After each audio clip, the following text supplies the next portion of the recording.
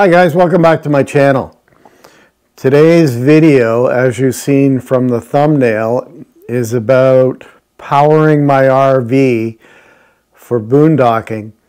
And originally I had purchased a Bluetti AC200 Max um, about a year or so ago, thinking that that would be the ideal solution to power the motorhome. And you know, I'm not I'm not doing this video to say that the Bluetti isn't a good device. Um, in the time that I used it, it worked flawlessly and I didn't have any issues with it.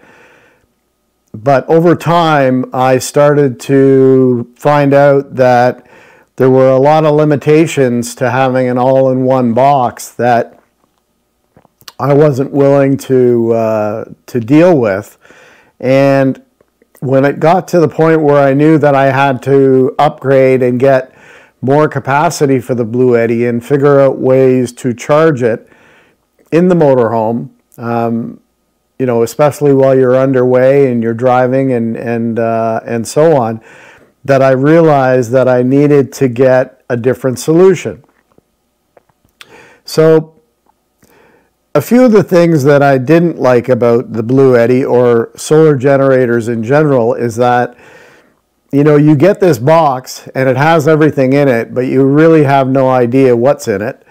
Um, you don't know if the components in it are um, you know top of the line um, or any of those sorts of things.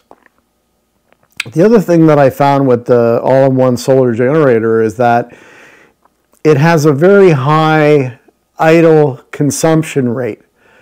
My Bluetti was using about 25% of the battery capacity just to keep it running. And in a 24, per, uh, 24 hour period, that can start to add up. The other thing was that a lot of the solar generators are, um, are sold by um, companies from overseas and it's extremely difficult to get any kind of tech support from these folks. You can email them, but um, there are stories on social media of people who waited um, almost uh, you know a month before they received any reply. So I didn't like that very much, and expansion was limited to buying a big expansion battery that weighed 60 pounds and had a big bulky cable uh, hooked up to it. And I didn't want to deal with that. I didn't have room in the RV to deal with that. So I started looking around, and what I came up with is I bought Victron components. And Victron components, Victron is probably one of the leading manufacturers of off grid power um, on the planet. They have um, installations all over the world, whether it be um, on land, uh, you know, on boats, uh, motorhomes, um, cabins, um, off grid of any kind. And I could also scale up my system without taking the whole box like a solar generator and, and having to replace it. Um, so I bought the Victron. I've got a, um, the inverter that I bought is the Phoenix 12 1200, which is more than enough to power what I need to power in my motorhome. And the Phoenix, um, one of the great features of it is idle consumption is next to nil. It has technology built into it where if you're not using it, it basically shuts itself down. It goes out every minute or two and checks to see if there's any power um, required, and then it will uh, turn itself back on again to provide that power. The other issue that I found with the solar generator is being able to charge it underway in my motorhome. So the great thing about the Victron energy um, system is that you can put a DC to DC charger on it and charge your batteries from your alternator. So I've got the Victron um, 30 amp DC to DC charger that I'll be installing in my system. And the great thing about the uh, Victron equipment is that it is very programmable. You can, you can change just about any setting that you need to uh, change um, to suit the system that you're dealing with. And you can protect your alternator and get a lot of power when required into your batteries. And then it will automatically, using its smart technology, um, bulk charge and absorption charge um, your batteries. So it works really, really good in that fashion as well. Now, one of the other things that you have to have when you're setting up your own system is an MPPT controller. So I got the Victron uh, 150 amp uh, controller. I'm going to be uh, installing three 200 watt capacity um, solar panels on my RV. So the the MPT 150 will more than uh, uh, handle the capacity um, there.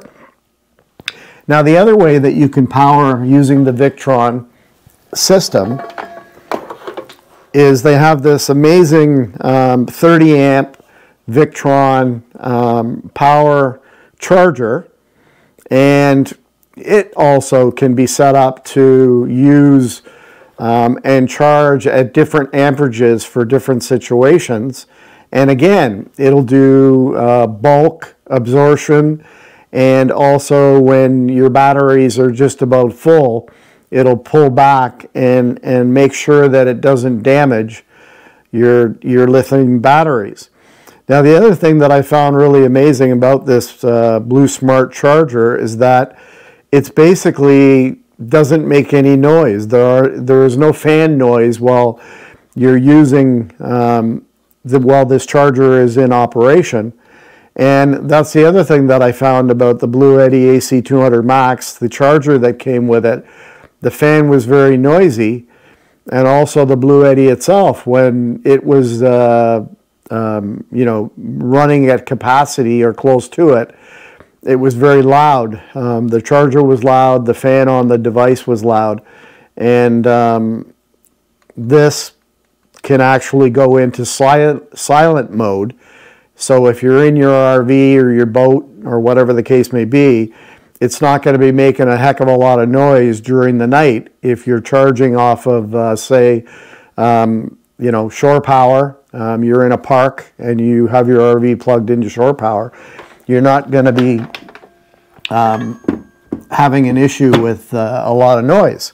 So, all of that said, the only downside that I see to installing your own components is you need to learn a little bit about the equipment and you need to make sure that you use proper fusing, proper cable, proper cable size, and you need to put a little bit of an investment into some tools.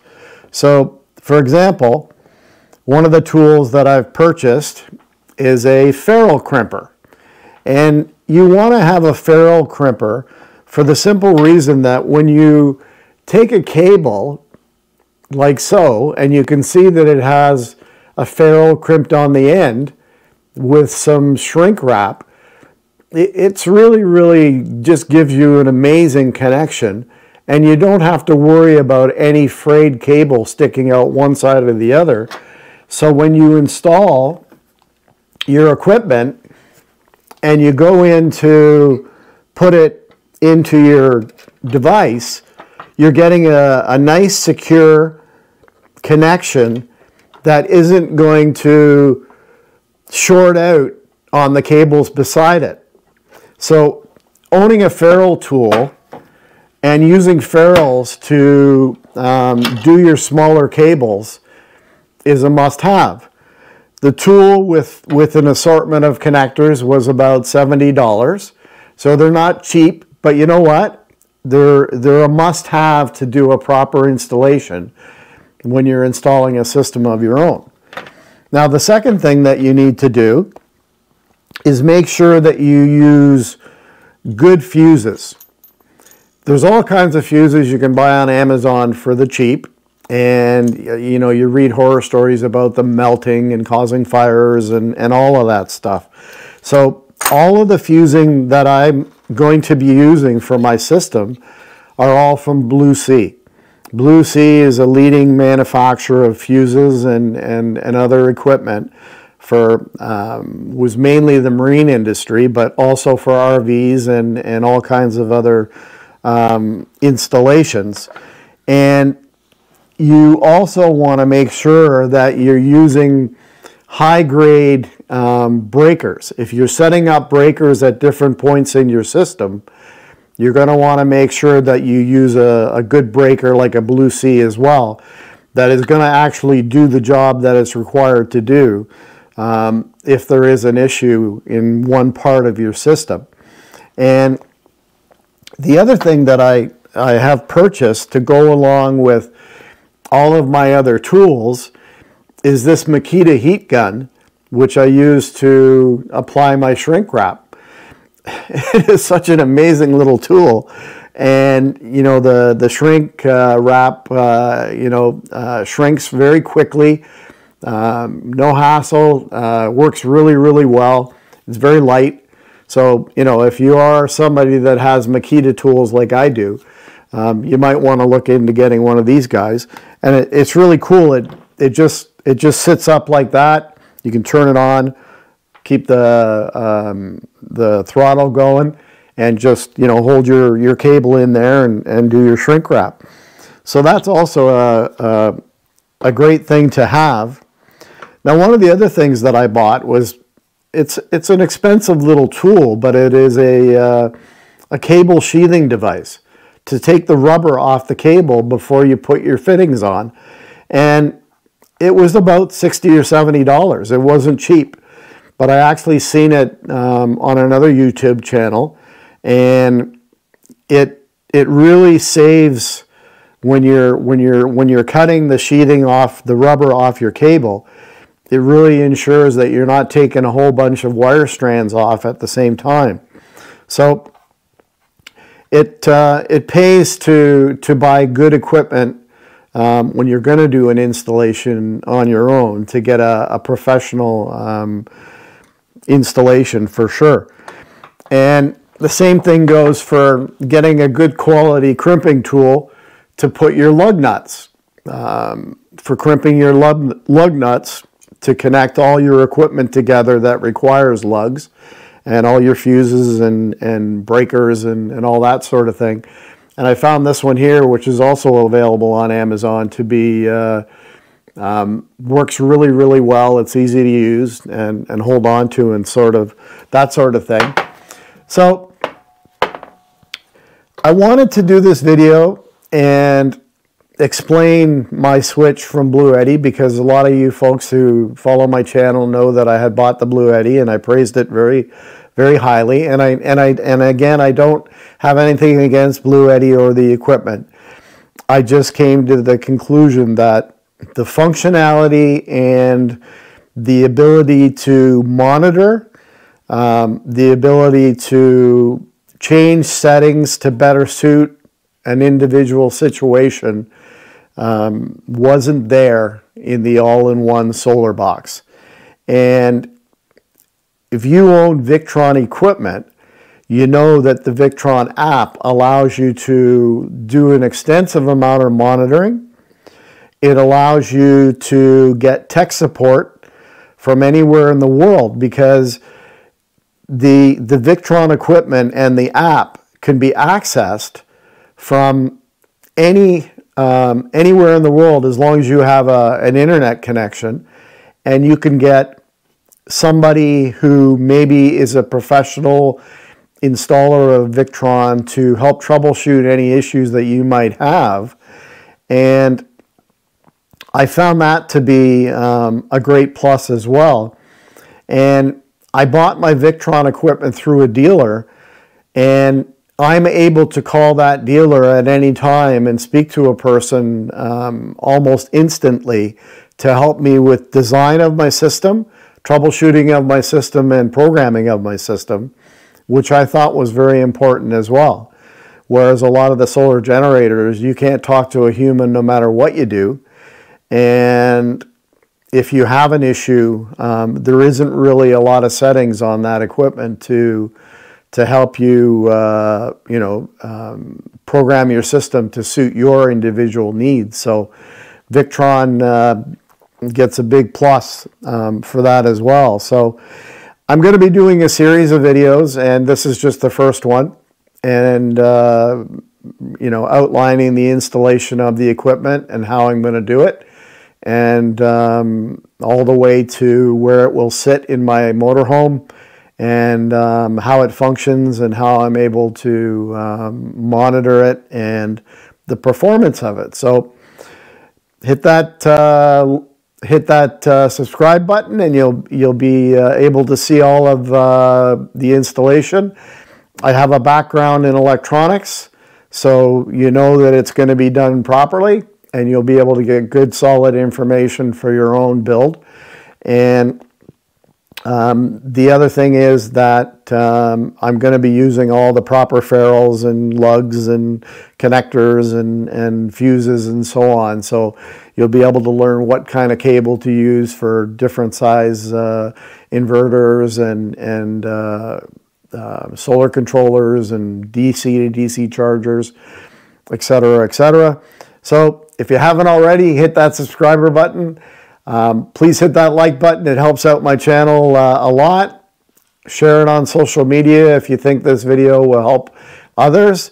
And um, hit the notification button and then you'll be able to see all these uh, future videos that I'm going to be doing um, outlining this installation going forward. So thanks a lot for watching. I really appreciate it and um, look for that next video soon.